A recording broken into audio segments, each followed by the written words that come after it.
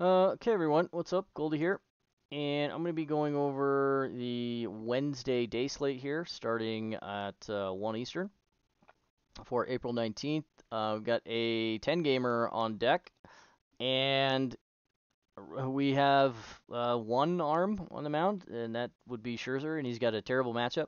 Um, now, I'm recording this the night before. We're not going to have projections or ownership loaded into the sheet here. Um, just yet, but we are going to go over the games and just kind of uh, get our bearings as to who we may want to uh, consider on the mound and may want to play uh, in the batter's box uh, against some of these pitchers. So since uh, since I'm doing this the night before, that thought I would take a this opportunity to uh, remind everybody that um, despite the fact that we're going through all of this data and talking about numbers and, and whatnot, um, we do still have the the most accurate um, aggregate projection that the industry is going to offer here, and that's because we're bringing in everybody from the rest of the industry and making our own kind of tweaks to to things, and and then spitting out the uh, the ultimate aggregate here for a, a, fantasy point projection and an ownership project, projection. Um, so despite the fact that we're going through all of this data, um, all of this data is already kind of baked into the projections. And where we really want to kind of focus when we go through all of the numbers here is just kind of use all of this as, as tiebreakers, right? Um, when we've got guys in a similar price price range, like a Charlie Morton and a Trevor Rogers or something like this, and we're considering between the two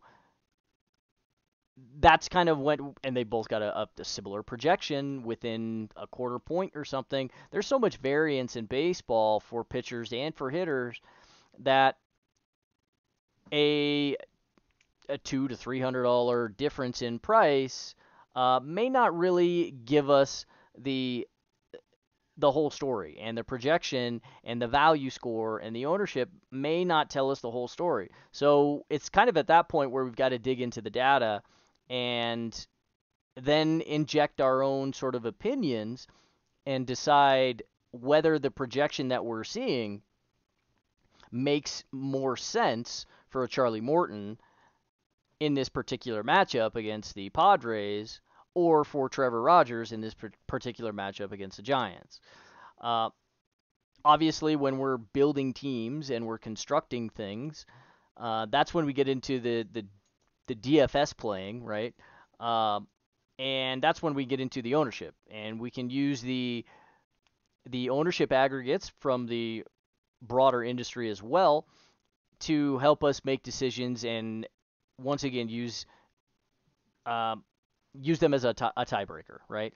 So that's really what we're all we're all we're doing and all we're after here when we go through all of this data is just trying to sort of split hairs and get granular with things and be informed about the decisions we're making because realistically, I mean, we're putting money at stake here. So we want to um, we want to trust the projections, right? Because overall, we have to trust that the models and the computers are doing the math a little bit better than we can, right? Um, but we can also, when we're building teams, we can make our own decisions, and we have to make our own decisions. If we just run run builds and let the optimizers go crazy, uh, we're probably not going to to do pretty well long term or do very well long term. Um, so we have to inject a little bit of our own analysis into some of these uh, DFS plays, and certainly in a sport as variant as baseball. Um, any on any given day we can go and look at a hitter projection. And on any given day for Aaron Judge the projection is probably going to be about 11 or 12 points. And it'll vary a point here or there depending on matchup and maybe some weather or something like that. Uh, but for the most part it's going to be in the same range pretty much all season against pretty much every every guy he faces. Um, but unfortunately for us, it, if we were once again just to optimize everything, um, that would probably give us a, a, lot of Aaron Judge every single day, which is you know, fine in in a vacuum, of course. But do we really want to be paying uh, the price tag for an Aaron Judge in a vacuum uh, when he gets an elite arm on on the other side, uh, as opposed to one that is very attackable? Now, obviously, that should be baked into the projection, right? You should see a naturally a higher number for a judge in the in the better matchup, of course. Um, but once again, there's so much variance in baseball that the the projection isn't going to double, right? And it's not going to tell you to just play 100% of a guy because there's still variance. And that's really when we get into the um, injecting the bias and gauging whether we think the median projection of some of these models is mostly accurate or uh, for our risk appetite um, or is incorrect.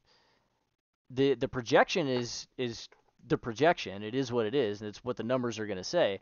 But where we really want to focus is attacking the the ownership, right? And that is a lot more subjective, and really where we are going to uh, differentiate ourselves and be able to make some money. Certainly in in a highly variant sport like baseball, uh, another like hockey, one that's far more projectable, like basketball, for example, you're basically just going to want to play the very, um, very highly projected plays pretty much no matter what because you know if they're getting 35 minutes or something uh, at the point, I mean, it's just kind of unavoidable. You got to play them, um, and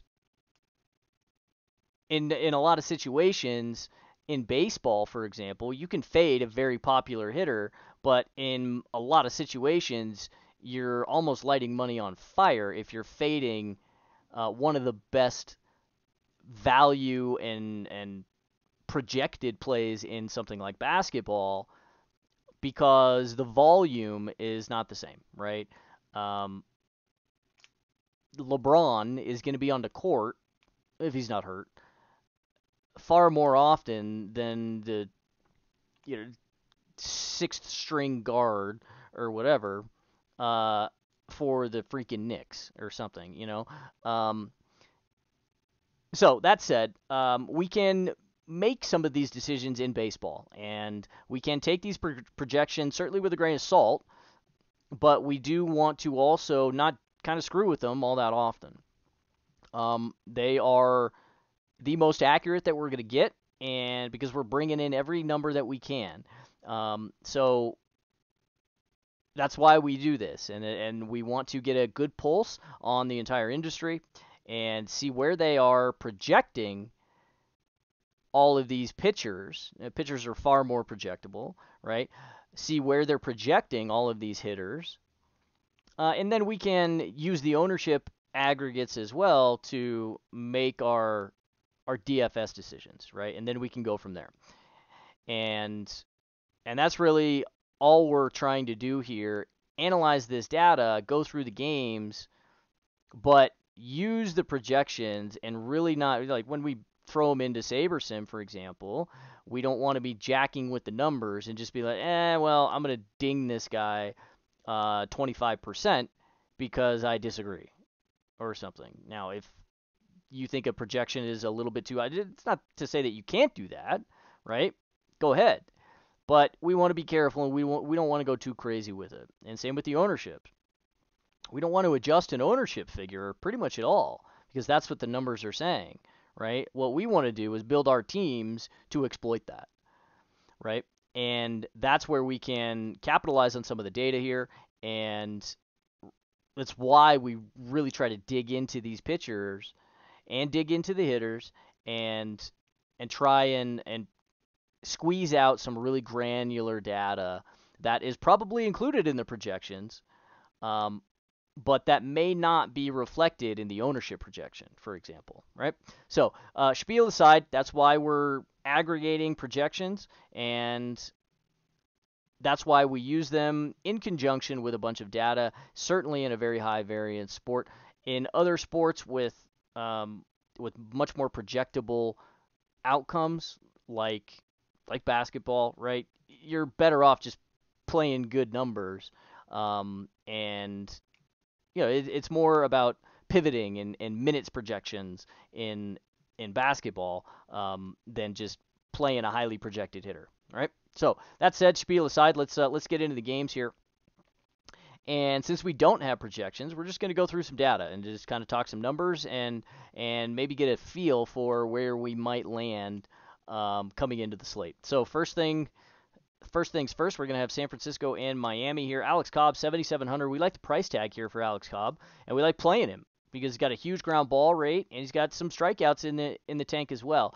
Um, really to both sides of the plate. Little more susceptible to some contact and some average to the lefties at 271 with a 303 woba. No power though whatsoever because he's he's throwing the splitter to them and the curveball also and just burying it. So he's got a nearly 3 to 1 ground ball right 2 290 two lefties. So we're not really worried that he's not striking them out uh, at a 35 percent clip or anything like that when he's getting three to one ground balls. He still has league average strikeout rate here at 22 percent, so this is fine against lefties in the in the downside of the platoon for him.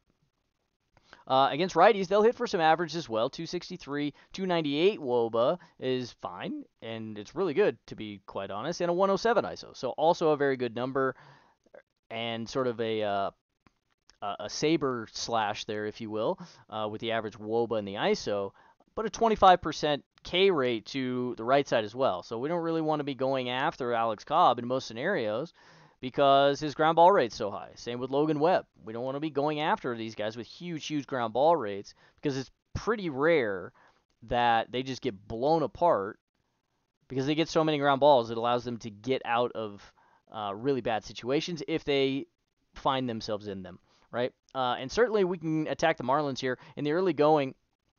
They're striking out at a 25% clip here. 82 WRC plus over 480 PAs, 145 ISO with a an average WOBA of 297. Uh, but hitting a lot of ground balls here. 150 ag- aggregate ground ball to fly ball ratio. Really not getting a, a bunch of balls on the line either at sub 19%.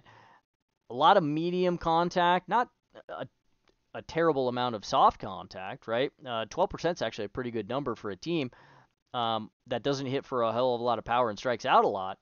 But most of the contact is of the medium and medium plus variety rather than the hard variety, which we really want to target. Now, anything over 30% is a pretty good number. 30%, it, it's fine. Uh, but when they're hitting this many ground balls, it's kind of worrisome. So Alex Cobb here, 7,700. I think this is a pretty good price tag. We've been playing him pretty much all season, and I don't really think that's going to change here. Um, the only guy over here for the Marlins that I think I would be interested in would be a Luis Arraez, for example, at 4,400, but not super wild about that price tag. Uh, Trevor Rogers on the mound for the Fish, 8,500. I think this price tag is probably a bit elevated. Um, what we really don't want to be doing is targeting uh, targeting the Guardians pretty much ever. And in the early going here this season, uh, 191 PA, short sample against lefties. Um,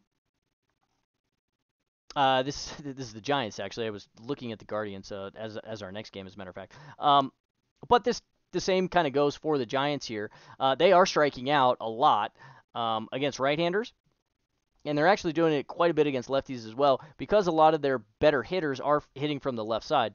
So now that we're back on track here, um, short sample for them 190 PAs, 56 WRC plus. This is terrible, right? 086 ISO. Even though they do have a couple of sticky guys in a Thairo Estrada, JD Davis, who's been swinging a bat um, a little bit better. Wilmer Flores, still cheap, 3,600. Unfortunately, lost his multi position eligibility.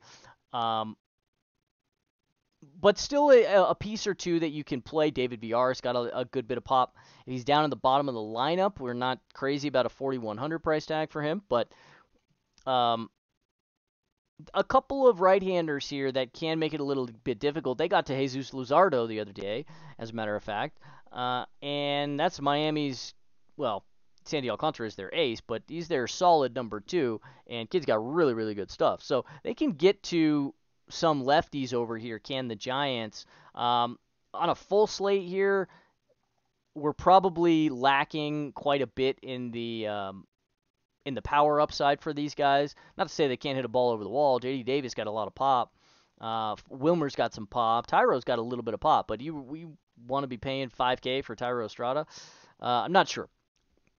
So not a favorite stack over here, but not really a an equitable target, I think, for the um, for Trevor Rogers either, because he gives up a little bit too much contact to the right side. 288 average, 377 woba, and a 2 211 ISO with some 30 with 32% hard contact rate to the right side, one and a half homers per nine. So um, not crazy about playing a Trevor Rogers. He has been you know, right around in the same price range, but uh, really all season 8100, 7900, 8300 in his first three starts. And he was actually really good in his last start against uh, Arizona. I believe he went six innings and got him for seven Ks off the top of my head, I think. Um, so he is playable in in pretty decent matchups. I'm not sure that the Giants, given that they're trying to platoon a little bit more here, uh, are really the best matchup for him on on a full 10, 11 game slate. He's a fine tournament play. I think he's going to come in at probably some pretty low ownership. And if I had to guess, probably about a, oh, I don't know, 16 point median projection, uh, give or take. Um, so it's fine. I think at, at 8,500 it's an okay tournament piece if you land on it, but probably not going to be going out of my way to target him. And with the Giants, I think the favorite play over here would probably be a Wilmer Flores price adjusted, but I think getting to uh, JD Davis at 4,300 is a fine play as well. Okay, so let's now get on to the Cleveland Guardians and the Detroit Tigers. So we've got Cal Quantrill on the mound at uh, 8,300, and I, it's really pretty rare that we we're playing Cal Quantrill. Um, he just doesn't have any swinging strike stuff and any upside whatsoever. And at an elevated price, I mean, it, he suppresses pretty well. But unfortunately for him, really all season, 86, 85, 8700 on the mound. Yeah, the price is down, but it's still elevated for a 16% K rate. And he's got a 3.5 ERA with a 450 XFIP. The numbers are fine. Doesn't walk people, throws strike one, and stays off the barrel. But oh wait, he's not going to throw it past anybody. So I'd rather get to a Trevor Rogers, a guy that does, while exhibits a, a little bit of a split um, deficit, so to speak, uh, against righties. He's got a little bit better K stuff, and six percent up to twenty two and a half percent or whatever it is is six percent. Um, so I'd rather play him at two hundred dollars more expensive than Cal Quantrill. I don't really want to play either of them necessarily, but um, that's kind of how I'm I'm approaching this so far. At 8,300, I think he's just kind of overpriced. Really not interested. Even going after the Tigers, I would probably rather get to a Tiger or two, but I don't really want to do that. If I'm going to go after Cal Quantrill, it's going to be with a righty because his K rate to righties is at 12.5%. That's a really, really low number. So they're going to hit for some average against him 281, 317 Woba. Not so much in the way of power. Um, but a 281 average to a same-handed hitter, that's a big number, and that's really because he doesn't have much of a in the way of breaking stuff, right?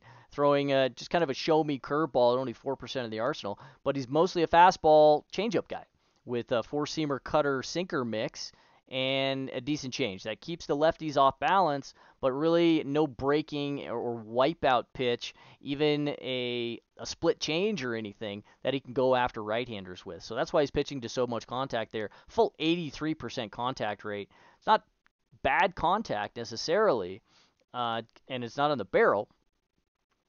So he's okay. He's he can suppress and and he can go six innings, strike out five or six here. Um, and that's okay maybe in cash, but uh, in tournaments we're, we're really just worried about upside. You can actually get to a righty or two, 3,400 now for Javi Baez. He's been awful, probably because he's not all that great a hitter, but there's we're starting to get into a range here where he has upside at the price tag, and I think that's a a playable price on a full slate. Definitely not my favorite shortstop play, but now we're finally in the range where Um, I mean, 3,400 is pretty pretty cheap, and he's still got a lot of pop. 12.5% strikeout rate. That's really Javi's problem, right? But a 12.5% strikeout rate from Cal Quantrill, uh, we're not really worried about that. You can play an Eric Haase if he's uh, behind the plate, and or a Jake Rogers even. Uh, Spencer Torkelson down to 2,300, also a lot of pop, also has strikeout problems. So if you want to get to kind of an off the board little two to three man uh, of the Tigers here, I think that's reasonable. Cal's not going to get played, so you're not getting a lot of leverage on the field. Um, and he's probably not going to project all that well, so you're unlikely to run into any of him in your builds where you'd have to like hedge or anything like that. Um, so really kind of off the board sort of tournament plays here. On the other side, you got Spencer Turnbull who gets the Guardians, and they don't strike out at all. So uh, in the early going here, 486 PAs um, against righties so far, 18% strikeout rate with a 12% walk rate. like uh, the average walk rate in the league is about 9% right now. So this is uh what is that? 25% higher than um than the league average. I mean, that's a pretty big number and uh, pretty discouraging when we when we want to try and attack what's really overall a, a pretty weak lineup. Uh, they have some good hitters over here do the Guardians and uh, some professional hitters. They're taking professional at bats, but no power, so we kind of want to go after them sometimes because they're not going to put up a lot of runs on us. 1.3 ground ball to fly ball, not a lot of hard contact, a, a kind of concerning 20% aggregate soft contact rate, not creating. You know, 10 ticks below league average at just a 90 WRC plus. Um, slightly better against lefties, but like, uh, are they really? So not really. Um, but we can't. We just can't go after them. They only have an 18% aggregate K rate. They're gonna take professional at bats. They're gonna really make you work. And Spencer Turnbull here in the early going, even at 6,000, it's an attractive price tag for him, but he's still really struggling to keep guys off the bases. He's pitched to an 82% contact rate himself, and we don't really want to be dealing with that um, against the Guardians. You can stack some of them, but they're going to be frustrating and it's going to be very difficult to get there in tournaments because they hit for such little power. Still 116 aggregate ISO here. That's a pretty low number. Uh, now Turnbull is he's getting a little bit more comfortable. He was good in his last start, went five innings, struck out six against Toronto, and he was 5,800 in that start, and that's uh, really encouraging for Turnbull. Um, still a, about a neutral ground ball to fly ball in that start. Ground ball lean so far with uh, what is this 22 to 13 ground balls um, versus fly balls in his uh, three starts so far this year. So uh, encouraging that he's trying to keep the ball on the ground and at a 165 ground ball to fly, fly ball ratio so far. That's that's a good number. He's staying off the barrel. The problem is that the the control just hasn't quite been there, and he's pitching to a lot of contact still. So um, not something we want to be messing with with Cleveland. Uh, give me the the usuals over here. Give me a Andres Gimenez 4,600. I think that is a fine playable price. You can always play Josie, of course. Um, so give me some of the Guardians, but uh, not a lot of them. They're super frustrating to play. Okay, Arizona and St. Louis. Um, I think that we're going to see some offense here. Probably going to see some ownership as well. It's definitely not going to be on Madison Bumgarner. Um, I think he has pretty much reached the end of the line here. The D-backs, unfortunately, they need somebody that can just eat innings for them. Um, and Bum well, he really hasn't showed that he can eat innings. Uh, unfortunately, uh, so far here here in the early going, he's getting just absolutely blistered um, pretty much every start, and it's kind of been this way really going back to all of last season. Gave up five earned runs in his last start um, in five innings. Gave up just two earned in four and two thirds against the Dodgers in his second start, but in his first start against the Dodgers, gave up five earned as well. So uh, really not a lot of value, and definitely not any value at 7,600. We're going to want to target him with the Cardinals. And finally, Willson Contreras has gotten there. We talked about this yesterday. Um, at 4,400, I believe his, his price was. Or this is his price today at 4,300. Um, he ended up getting into two baseballs. So uh, finally taking better at bats, and once they get him going in the in the middle of the lineup, with these guys getting on base, Goldschmidt, Arenado ahead of him, Alec Burleson, uh, even some Brendan Donovan or Dylan Carlson, Tommy Edman, whoever they have leading off, they they let off Lars, I believe. Um, this was a the lineup before Brendan Donovan got scratched.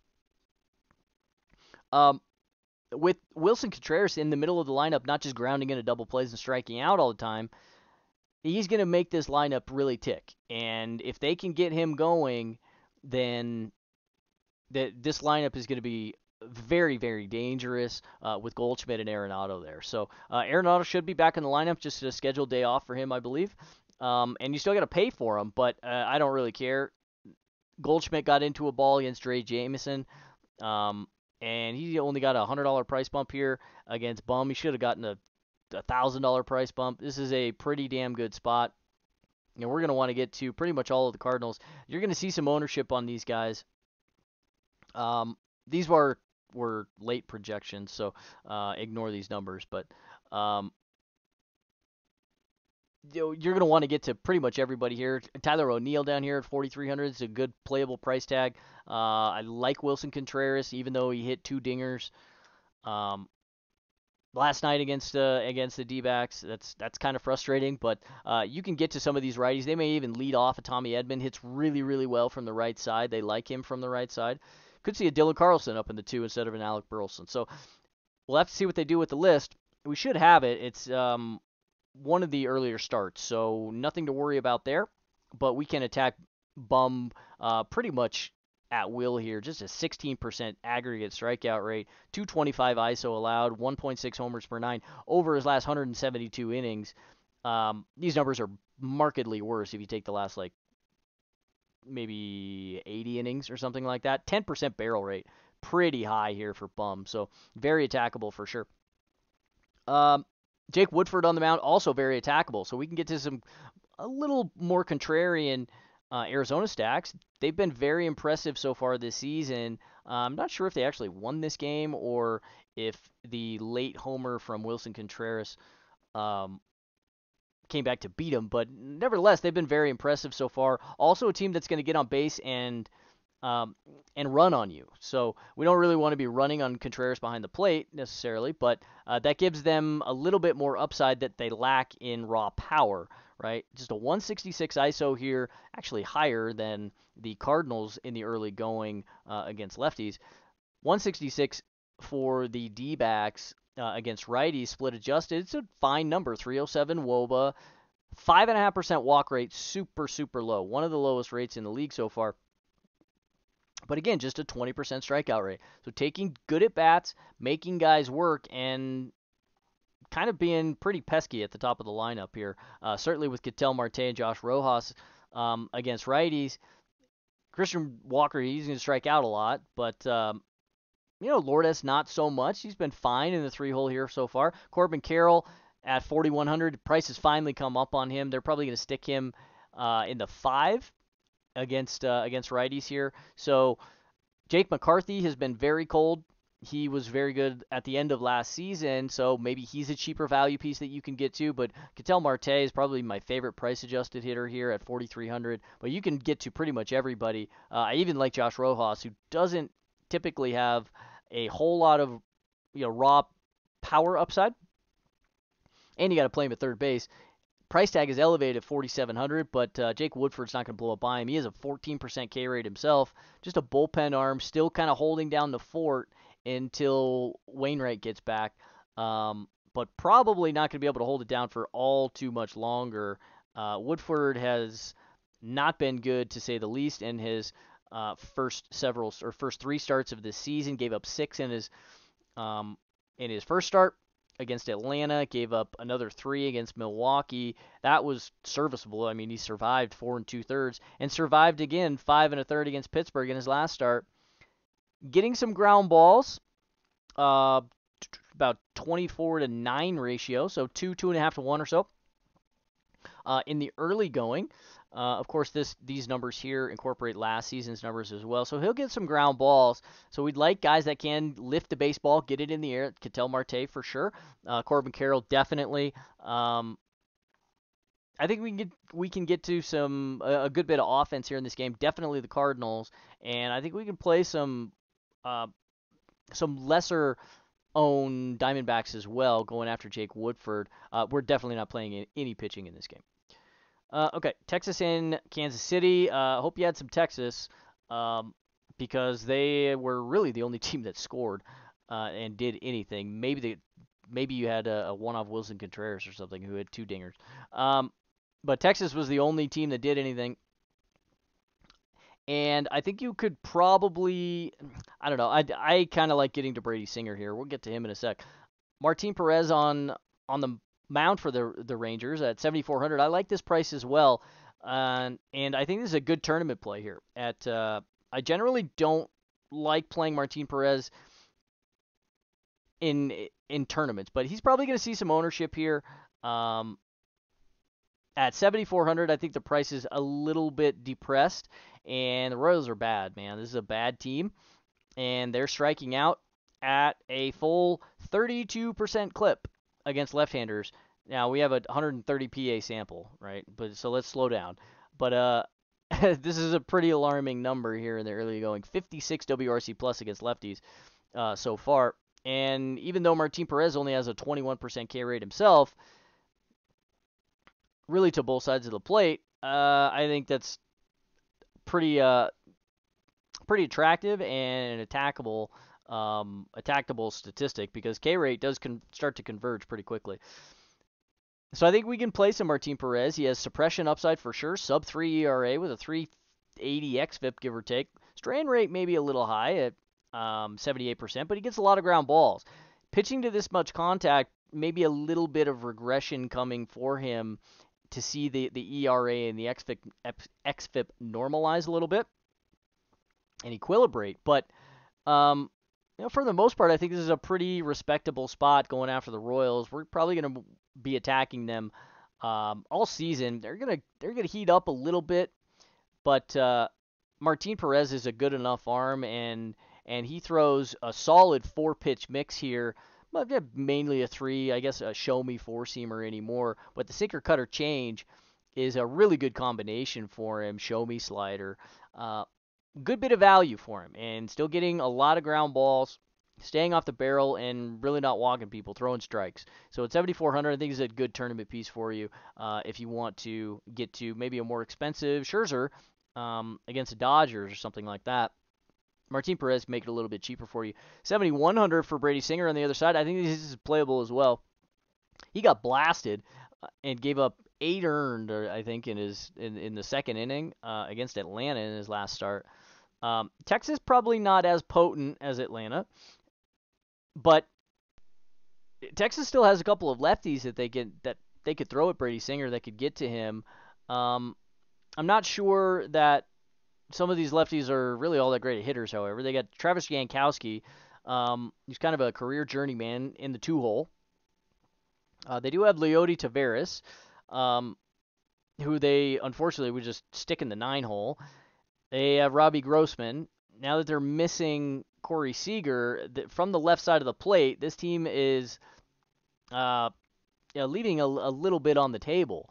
So it really, it's it's Marcus Semien, it's Adolis Garcia that are the, the two big power bats. Of course, they have uh, a Josh Smith, who's a very young hitter. He's been awful. And they have Jonah Heim behind the plate, uh, who will pop a little bit sometimes. Um, so they can get to him, Singer, with a couple of lefties here. They do have some guys, and guys that, that are at least standing on the left side of the plate with a baseball bat.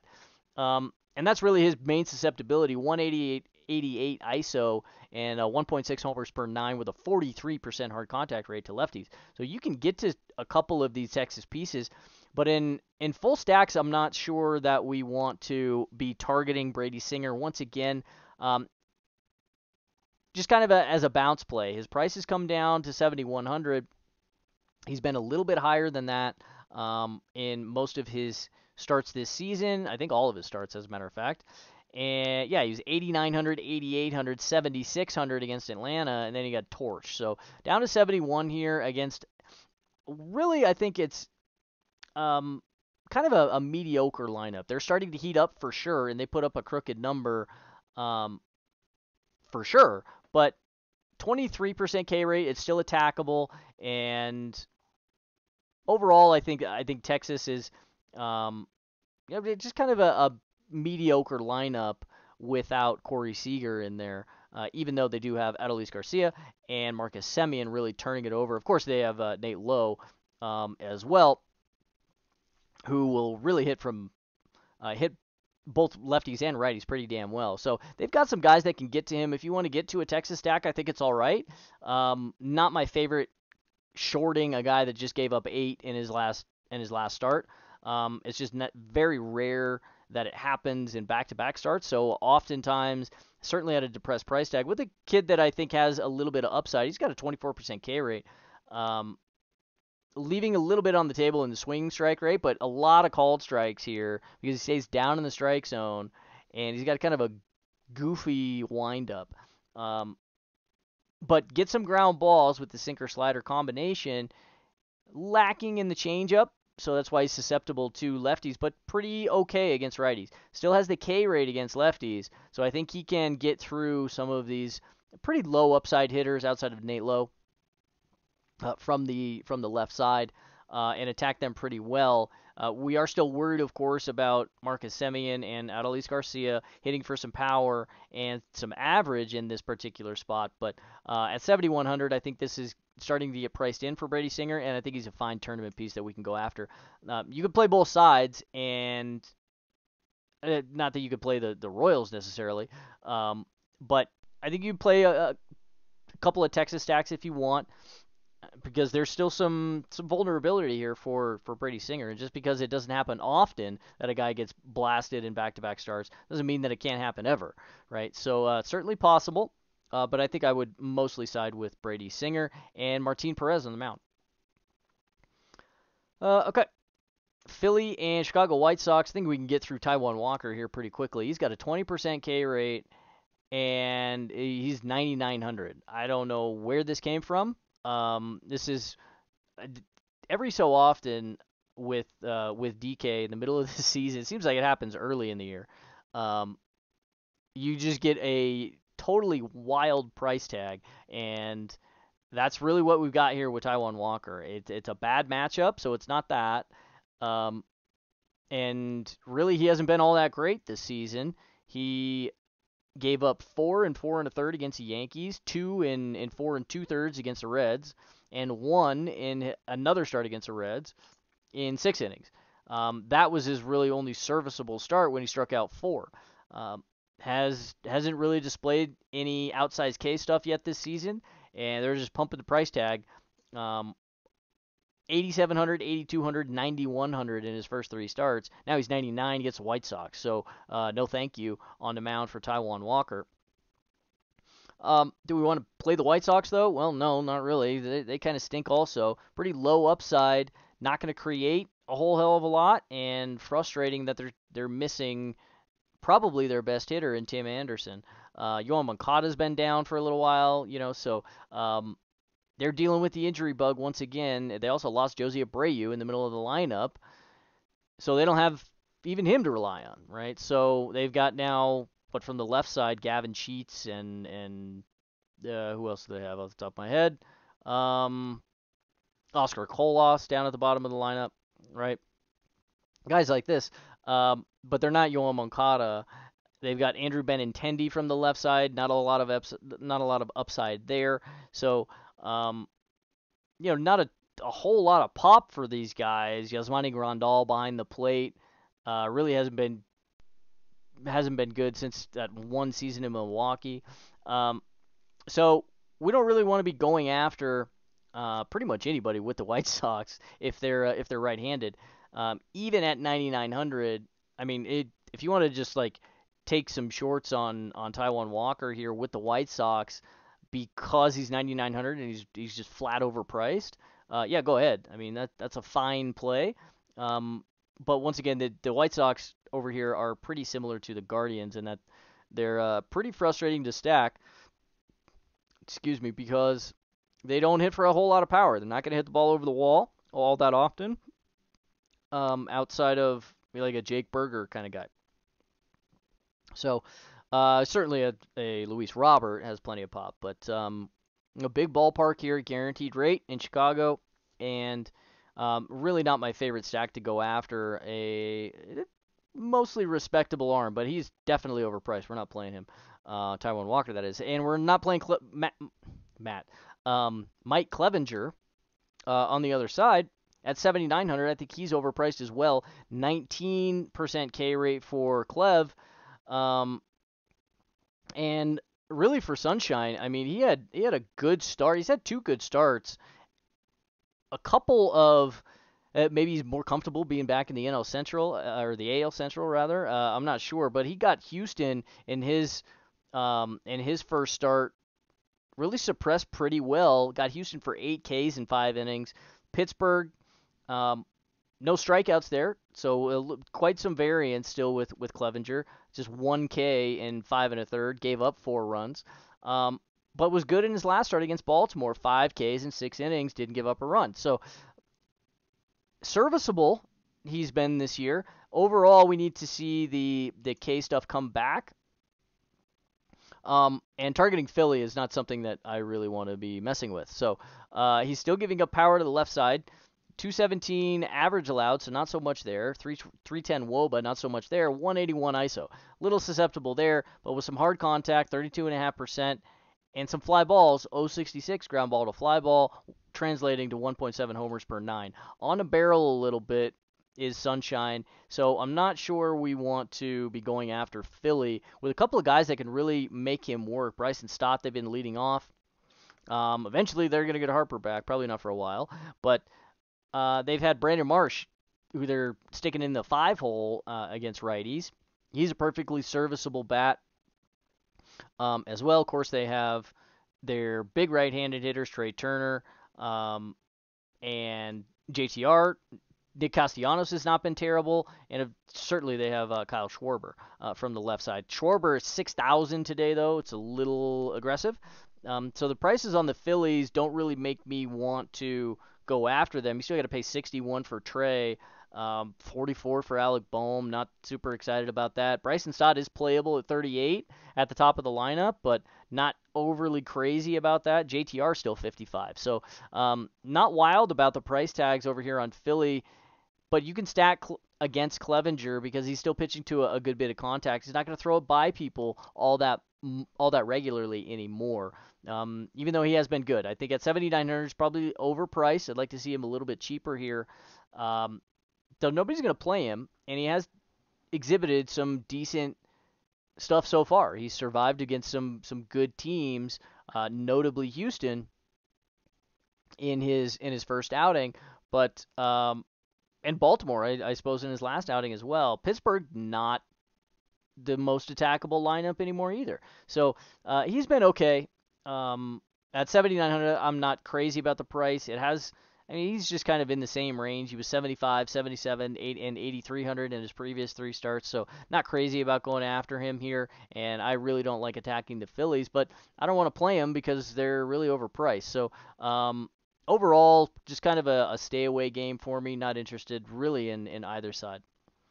Okay, Mets and Dodgers. Here's the Max Scherzer colored elephant on the mound. Um, 10-8 for Scherz, and well, he's really the he's he's the only guy that's got like really really good K stuff. Maybe a Justin Steele who we'll get to um, on the mound here today, and unfortunately he gets the Dodgers right. And so Scherz still has a home run problem, and maybe maybe he's dealing with like a, inflamed back. I think it is um, something like that. But he should be good to go, and um, it's been this, I guess it's this side that has been kind of ailing him for the past two seasons nearly. Um, he should be fine. And this is Scherzer. He's still got a 30% K rate, but it's Scherzer, and he still has a power problem and a homer problem to left-handed hitters. He will give up some dingers because he's a heavy fly ball pitcher with the four-seamer slider mix that we talk about. Um, changeup's really not all that good. Cutter that he's mixing in now, not all that good. Curveball's fine. Um, but a heavy fly ball lean here, and generally that's not a recipe we want to be messing with with the Dodgers because they have a lot of guys that can hit the baseball on a line here. Um, certainly Mookie, JD Martinez, uh, Freddie, of course, probably the best line drive hitter in baseball. Um, Max Muncy from the left side of the plate, James Outman, of course.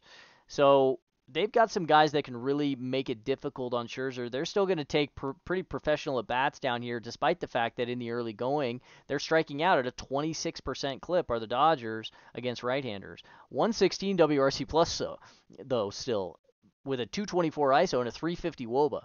That's a 12% walk rate. Once again, the average walk rate so far is about 9%.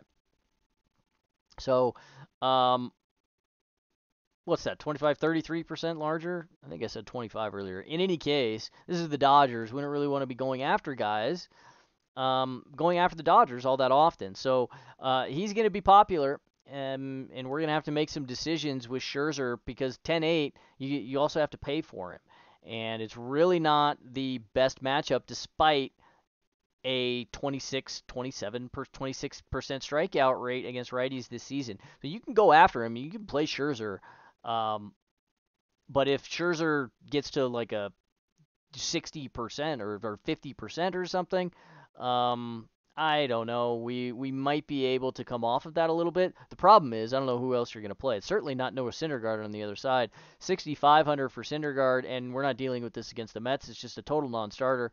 Um, he was beat up pretty good in his last start, I believe.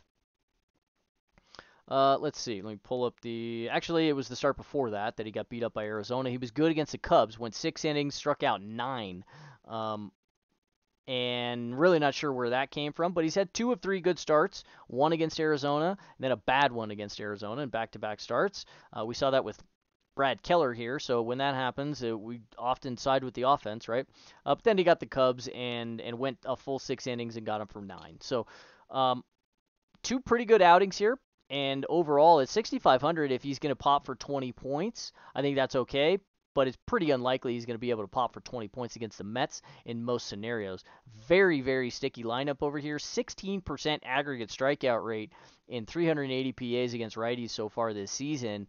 Um, this is not including the the games of uh, the 17th, but nevertheless, like that's a sh- super short number, and I think it's the best in the league so far, split adjusted. Um, just a 101 WRC plus for them and a 142 ISO with a 321 WOBA, but a 15% walk rate. Like, um, this is a, a, hard team to get around here, and I don't think with Syndergaard we're going to be messing with that. It's not that he's going to walk people or anything, or that he's on the barrel, but he's mostly a neutral ground ball to fly ball guy with just a 17.5% K rate. So uh, the stuff isn't really all that good anymore, and he's not throwing 98 like he used to. Um, so no, thank you. I, I'd really prefer to side with the Mets here, and unfortunately, I think their prices are starting to pump, um, and we're really not all that excited about it. 5500 for Pete Alonso. It's still a fine price tag. You can pay for that. Frankie Lindor up to 52. Brandon Nimmo creeping up there as well, 45. Jeff McNeil, he's contact hitter in the middle of the lineup. Good hitter, 3900 for him. Um, so we have some playable pieces here. You can play a Danny Vogelbach 2700 or something like that. Um, susceptibility is mostly to lefties anymore for Syndergaard. 277 average, 336 Woba, and a 174 ISO allowed, 13.5% K rate. So we can certainly go after him with lefties, and the Mets have a good couple of lefties that they can they can get to him with. Um, certainly a Frankie Lindor. He'll hit from both sides. He's probably my favorite here, price adjusted here in the uh, in the early going against Syndergaard. But you can you can stack everybody because he's not going to strike anybody out. So um, seems fine to get to the Mets. Also one of those frustrating teams to stack because they don't hit for a hell of a lot of power, more so than the Guardians uh, and the White Sox, but uh, not a whole hell of a lot. Okay, um, Wednesday at Coors, and the last game of this series, so we won't have to deal with Coors Field, at least for the um, for the next series. Uh, Oviedo on the mound. He's been really good in his last couple of starts. Austin Gomber going for the Rockies. Um, man, I I kind of want to play Oviedo here. I'm not sure if I can do it. Uh, he's been so good in his last two starts against two pretty damn good teams. Um, yeah, maybe I can do it. I'll probably talk myself into having some here because this slider has been excellent this season, and he got through the White Sox and the Cardinals. He got the White Sox for five, but he went six and two thirds and didn't give up any any runs. But then he got the Cardinals for 10 Ks and seven full innings here. Um, Price isn't hasn't really come up all too terribly here. He was 68 in his first start against Boston, where he got kind of beat up, but 6,200 in it start against the Sox, and 6,000 flat in his last start against the um, against the Cardinals. So at 69, I think this is fine, even if he's pitching here at Coors Field. He's got a good four seamer and a good slider that he can stay down in the strike zone with. The curveball is a little worrisome. So this is the pitch that could get him into trouble. But a good ground ball to fly ball ratio from Oviedo so far, and I think this is attainable. Um, he's shown really good stuff so far this season, and the Rockies are bad, man. Uh, this team is very low upside. Um, even though they they hit around Vince Velasquez a little bit, they still couldn't get to him, and he still struck out like five or whatever it was. So um, I think he's a very interesting tournament piece just because he's pitching at Coors Field. He's not going to get played pretty much at all. So uh, I think you can go after Colorado here. Um, don't be surprised if he gets totally beat up, but uh, and and regresses really hard. So that said, you can still play some of the Rockies, but man, they're frustrating to play here. Um, they're not going to be bad this season, uh, for the entire season, as as bad as they have been. Um, but they're they're bad and they're going to strike out a lot. Certainly with guys against guys with stuff. Now in aggregate, just a 23% K rate, but this is going to creep up uh, if he keeps exhibiting the same sort of strikeout stuff that he has um, coming into the year. So this is a pretty okay spot for Oviedo, and I mean.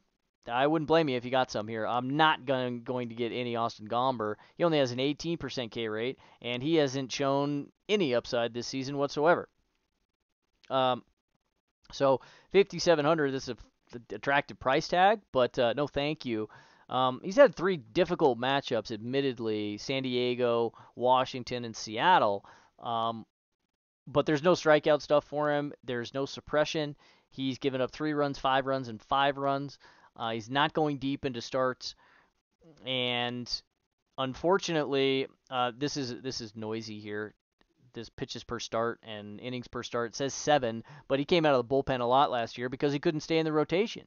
So, um, no thanks on, on Austin Gomber. We're going to want to get to Pittsburgh again. They're going to be very popular once again, uh, but they've been seeing the baseball for the entire series here, and I don't think that's really going to change. You could probably come off of a little bit of the ownership if they steam to like 20% or something. This is a full slate, and we've seen that you haven't really needed to stack Coors Field really in the last several series. Um, because they the Rockies have been so bad, the the opposing teams really haven't had to go off. Now, yeah, the Pirates put up 13 or whatever on on Monday, um, and that's going to happen on on occasion. But uh, I think this is a fine spot to go back to some Pirates, um, and and getting you know, a good healthy amount of them, but you'll probably end up coming in under the field because there's just so many other other games you can play. But this is uh, once again you're gonna have to make ownership decisions here, and if you want to get different with it, well, full stack the Pirates and then play uh, Johan Oviedo uh, on the mound with him. I don't think many people are gonna be doing that at all. Okay, Cubs and the A's. Um, we don't have a, an announced starter yet for the A's, so not sure who it's going to be. Um, and this is kind of the uh, the perils of of doing a game or doing a breakdown the night before. So we'll just get to Steele. Um, 9700 for Steele. This is a like I'm not sure where this came from. Like I, I, I guess it's because he had an excellent start against the Dodgers, but uh, like we were paying nearly 2,000 less. Like at the beginning of the season, he was 6,000. Now he's 9,700. Um, 6,000, 7,600, 7,900 he's been pretty good for sure, but he's had some pretty decent matchups Milwaukee, Texas, and the Dodgers, who are striking out. Um, now he gets the A's, so I think the price tag is actually kind of warranted. I'm not excited about paying for it because I don't like buying 33% price bumps in in four weeks on a pitcher, but I we're kind of starving for some really attractive arms on the mound. Like Scherzer's in a bad spot. Steele here is in a pretty damn good spot, uh, to be quite honest. The A's here in the early going, 150 PAs against lefties, striking out at a 23% clip. 094 ISO with a 314 WOBA, and they're creating at a sneaky 106 WRC plus here. But I, I mean, I don't know how. Hitting a lot of ground balls, and that's why we like playing Justin Steele. He's got a high K rate, 25%, high ground ball rate, 1.9 ground balls to fly ball, elite against lefties in his last 29 and two thirds, and elite against righties in his last 108 and a third. Um, no power, no average, no hard contact. Everything is everything is beautiful, and he stays off the barrel. Only susceptibility here is getting ahead of hitters at a sub 60% rate. It's not like a an alarming number here at 59.6%. Um, but it does translate a little bit to some walk percentage. 9.5% in the walks, and that's a, a, little concerning if he does get a little wild.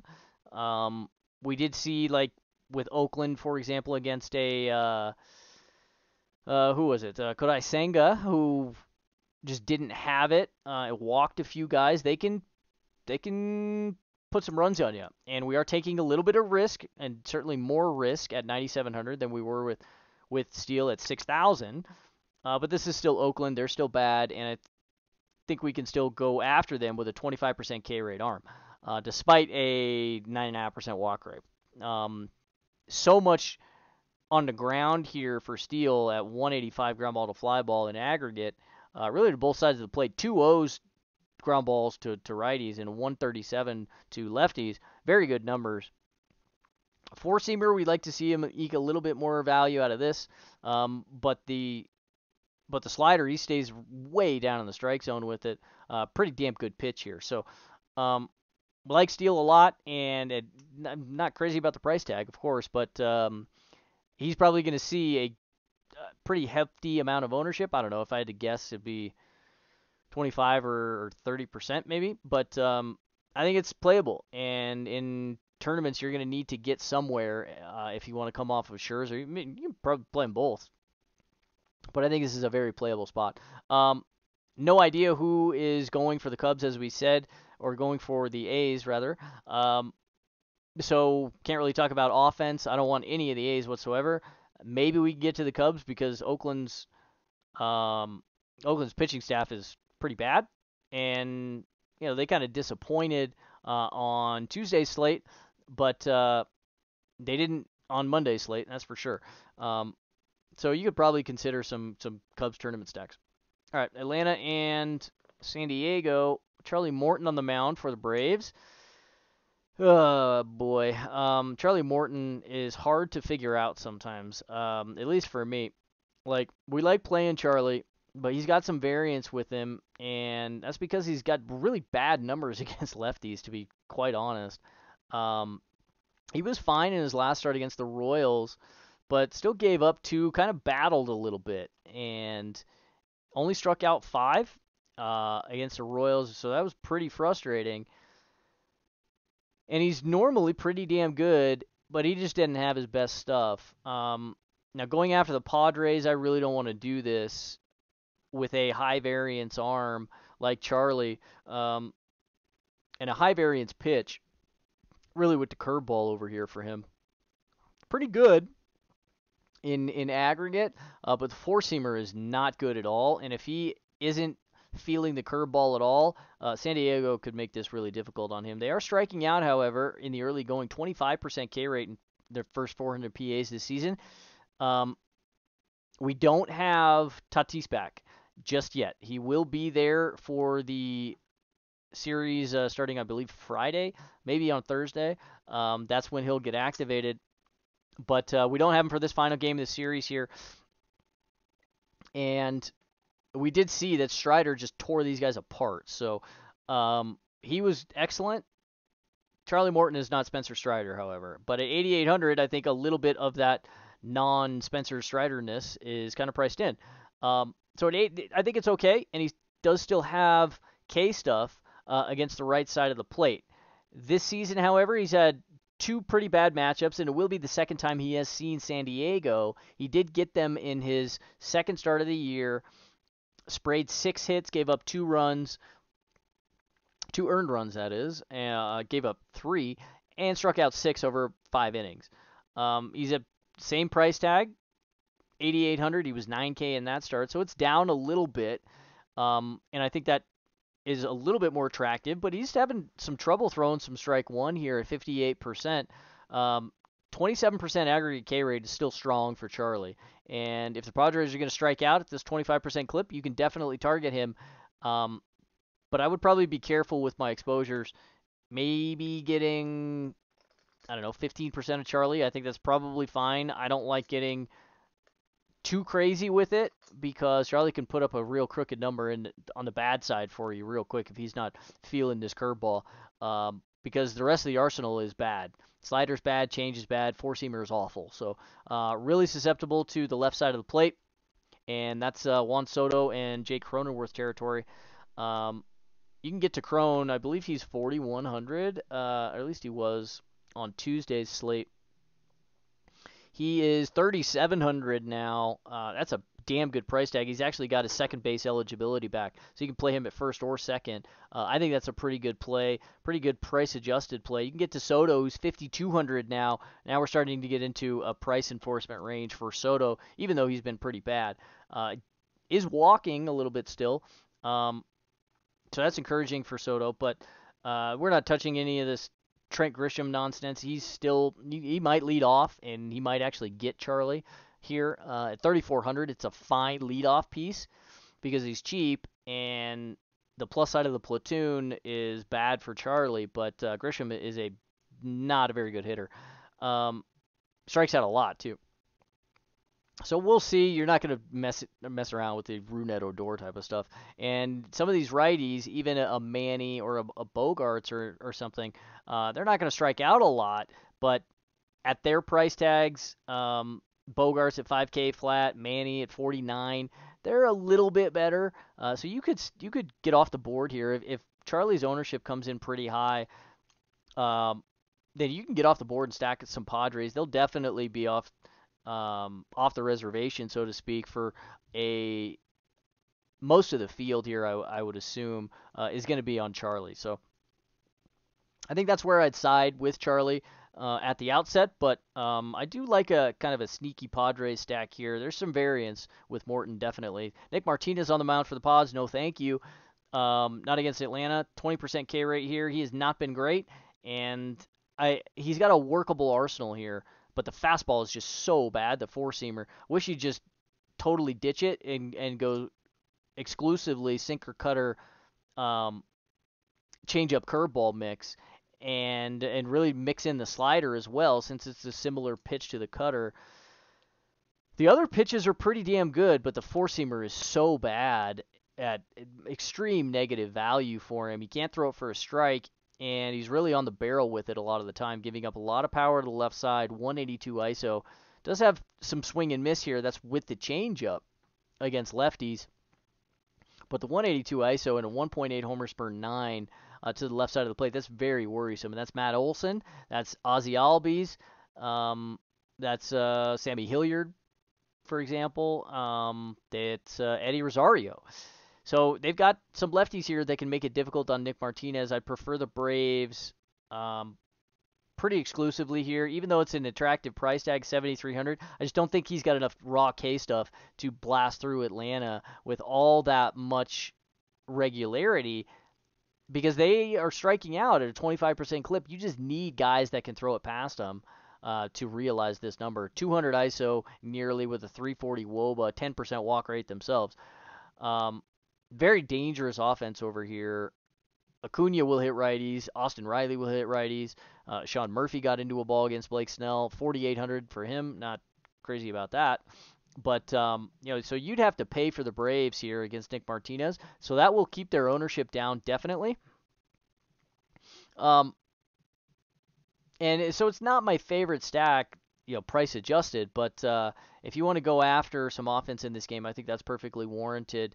Um, if I had to rank them, I would say probably yeah, yeah, uh, probably the Braves, then Charlie Morton, then the Padres, then Nick Martinez or something like that. Um, in in order of like favorites, um, but not terribly crazy about going after a lot of ownership here in this game. Uh, high upside for the high upside spot for the Braves, sure, if you want to get them at low ownership. Okay, last game of the day, Milwaukee and Seattle. Um, Eric Lauer on the mound. I think we can target him. I'm not playing. I'm not. I'm not playing him against the Mariners. I think we can play the Mariners against him. Um, looks like we're gonna have Marco go. Um, coming back. I think he was hurt. I can't remember off the top of my head. Missed a start maybe. Uh, I forget exactly what. Oh no, it was uh, it was the daddy list. He he was on the paternity list. Had his kid, and um, so he'll be back and should be fine. 8100. I'm not crazy about that. I very rarely get the opportunity to play Marco, uh, and it's never at an elevated price tag. Uh, 8100 is is certainly elevated for him. I love watching him pitch, um, but Unfortunately, he just doesn't have the, the raw upside for to, to play him in, in DFS uh, all that often. 13% K rate is one of the lowest numbers in baseball for a starting pitcher. Now he'll give up some contact, and Brewers their weakness has really always been striking out. Uh, we have them here in the early going, 116 PAs, short sample of course, 73 WRC plus with a 31% K rate against lefties. That's a big number, uh, but Marco still just doesn't have enough in the tank to throw it by them. Pitches to a lot of contact, 84%, but it's good contact. Not on the barrel, it's not hard and he induces a lot of soft contact with a pretty damn good change.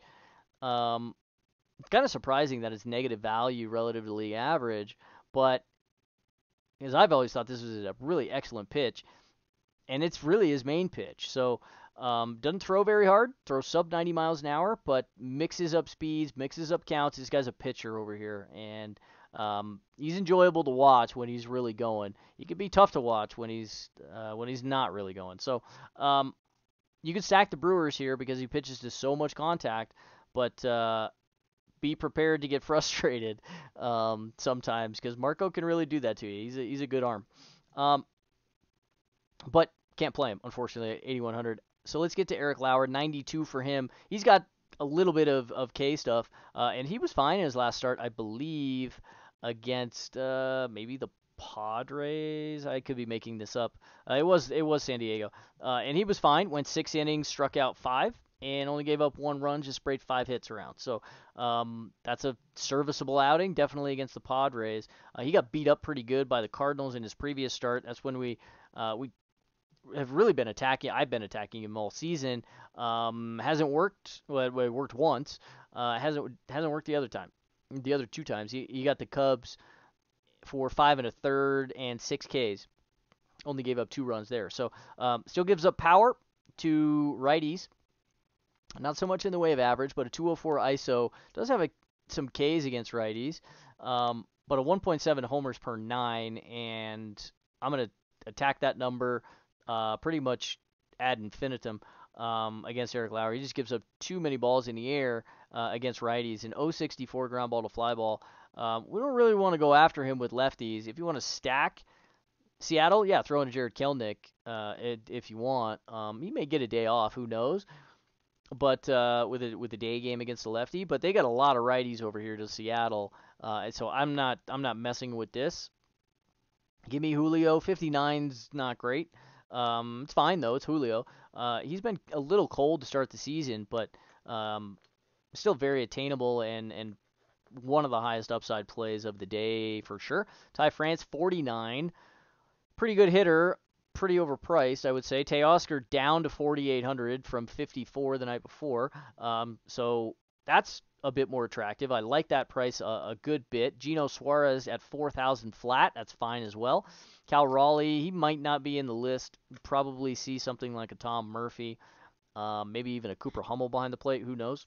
Uh, AJ Pollock was not in the in the lineup on Tuesday, so he'll probably be in there uh, on Wednesday at 3,300. So I think that's a playable price also. Uh, so give me some Seattle here. I'm not sure what their ownership is going to come in like. Um, it'll probably be depressed though because you got that Coors Field game. So uh, these is Seattle's definitely one of the stacks that I I like. Um, now in the early going, they are striking out at kind of an alarming clip. I mean, it's 125 PAs against lefties, 27.5% K rate. Um, he'll still hitting for a little bit of power, but a 286 WOBA, not walking a whole lot, hell of a lot. Uh, 8% is fine. But uh, an 088 ground ball to fly ball. So they're going to get the baseball in the air here, and that's a bad recipe for Eric Lauer because he's going to give it up in the air. And a lot of hard contact on the barrel to the right side, 38% nearly. Um, give me some Seattle and and give me all of them. I'm not I'm not going to be playing Eric Lauer here today, and I hope it doesn't burn me once again. So you can get to the to the Brewers here against Marco because he pitches to infinite contact, uh, and definitely get to some Seattle. No pitching in this game for me. Uh, so that's it for the breakdown. No idea how long this went. I think it went pretty long. But um, that said, um, yeah, we'll uh, quickly go through stacks, I suppose. Uh, maybe a little bit of San Francisco attacking the righty split for Trevor Rogers. Uh, probably no Miami. Like some Alex Cobb, definitely. Um, maybe some short Cleveland and maybe some short Detroit, but uh, no pitching in in the um, in the Cleveland Detroit game for me. Arizona and St. Louis also no pitching here. Offense only, like a lot of offense. This will be uh, your most popular game outside of Coors. Almost definitely Texas, Kansas City. Um, I mostly pitching here for me. I think. Give me some Brady Singer against Texas uh, to to bounce pretty hard, uh, and give me a good bit of Martin Perez as well. I like that spot.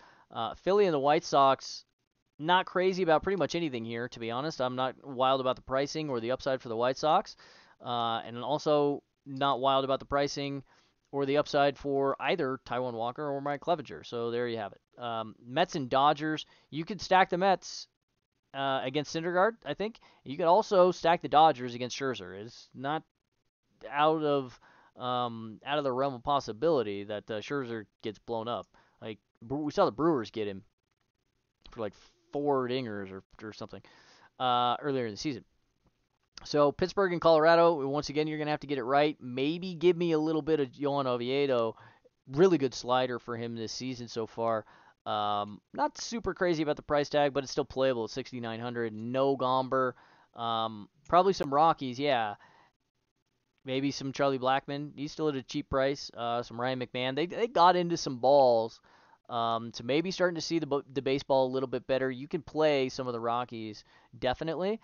Um, so if they get completely ignored because they've been so horrific, go ahead and get on to them and, and attack some regression that is likely coming for Juan Oviedo. Uh, we need to see more out of him, you know, before we're like super convinced that he's just excellent. Uh, give me Justin Steele and probably some of the Cubs. I don't know. They get Oakland. Uh, who knows who they're who they're gonna throw? Uh, Atlanta and San Diego. Some Charlie a little bit. Mostly the Braves. No Nick Martinez. Maybe some um, some Padres. Milwaukee and Seattle. Just give me the Mariners and all of them. Um, and no pitching on in this game for me. You can stack the Brewers too. So that's it, guys. Uh, keep an eye out for the projections. We will have them. Uh, once again, it's an early start, so um, keep an eye out. And good luck if you're punting the day slate.